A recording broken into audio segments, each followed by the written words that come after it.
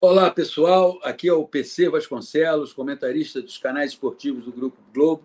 E eu quero fazer um convite muito especial a vocês. Se inscrevam no canal do Rafael Pestana. Vale a pena.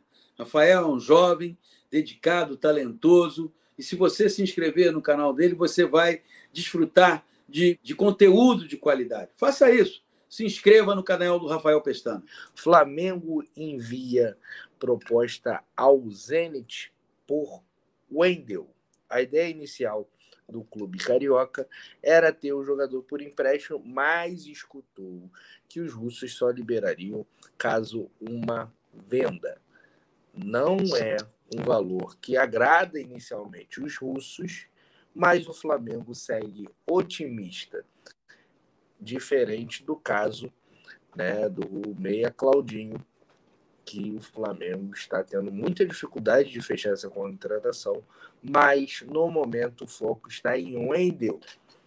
Wendel, 13 milhões de euros, né? um volante ali que pode jogar de 5, de 8, é um jogador ali, é, pode fazer duas funções no meio de campo, né? da volância. Então, é, essa é a notícia, até respondendo aí o Celso que mandou, Claudino Mengão, Claudino Mengão tá difícil, no momento está bem distante. No momento tem mais chance do Wendel ser jogador do Flamengo do que o Claudinho. Essa é a informação do GE Globo de minutos atrás. Na minha opinião, é, os dois jogadores seriam importantíssimos. Vou voltar a repetir, eu acho que o Flamengo precisava urgentemente de um lateral direito. Não vai vir, é, não, assim, até o Wendel mesmo enviou essa proposta na matéria diz que o, o Zenit não vai aceitar, ele tinha pedido 20 milhões de euros ao Palmeiras, ou seja, o Flamengo vai ter que aumentar essa proposta. Enfim, as negociações estão muito difíceis. O que me deixa um pouco chateado, irritado, puto, é que a janela vai fechar né, há pouco tempo e parece que só existe Claudinho de la Cruz e Wendel né? O Marcos Braz só conhece esses três jogadores, tem um monte de jogador aí, né? Enfim, queria a melhor contratação que tinha que ter era pegar o cara do scout do Botafogo, né? Inclusive, até a notícia de agora, o Botafogo fez uma proposta lá para um lateral direito. É... Lateral Uruguai jogou agora a Copa do Mundo, foi campeão com o Uruguai. Lateral de muito potencial.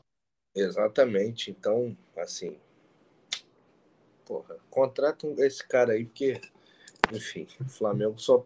Os caras só veem os mesmos jogadores. Enfim, foda-se o Flamengo. Quero falar mais de Flamengo, não. Do sábado. Foi um dia bem. né? Sorte que teve uma né? festa junina, né? Aí a gente né, esquece um pouco, mas enfim. Galera, faça o seguinte: se inscreva agora no canal do Rafael Pestana. Eu já estou inscrito e você vai curtir, vai ser um deboche.